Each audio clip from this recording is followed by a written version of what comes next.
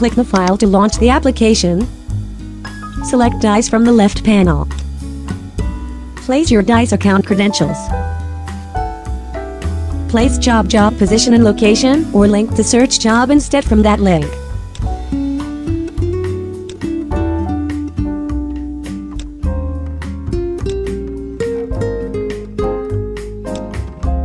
Select Dice from the right panel. You can place keywords to apply only jobs that must have your keywords involved or leave it empty to apply all available jobs.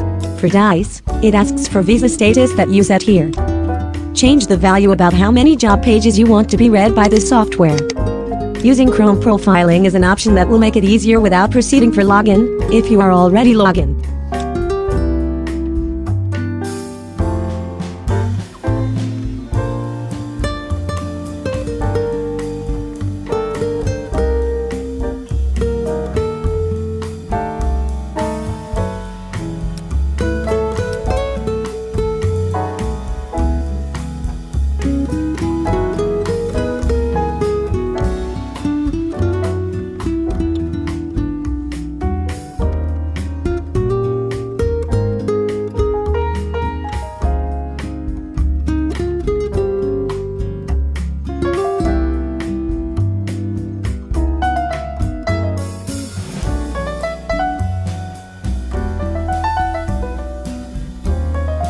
You can see the job has applied.